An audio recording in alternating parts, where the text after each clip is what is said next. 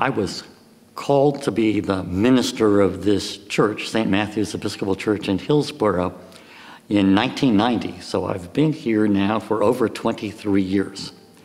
I have to say that it was love at first sight for me. The first time I laid eyes on this particular church building and its surroundings, um, I could picture myself having a productive and uh, joyous um, ministry here in this place. And uh, the last 23 years have, have proved that uh, to be true.